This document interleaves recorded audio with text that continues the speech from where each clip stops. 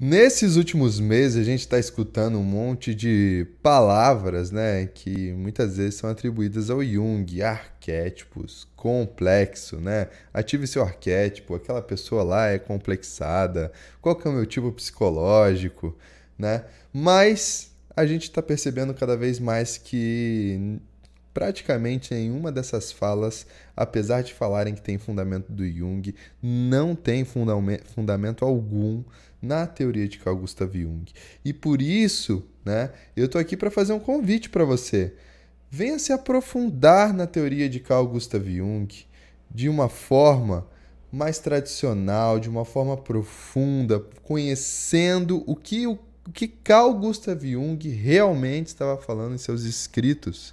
E para isso, gente, uma das melhores coisas que você pode fazer é se matricular na pós é, em Psicologia Jungiana do IGEP, no Instituto Jungiano de Ensino e Pesquisa.